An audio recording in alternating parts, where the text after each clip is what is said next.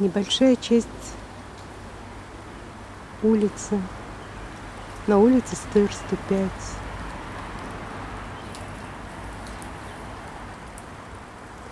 Познаем зеленые зоны.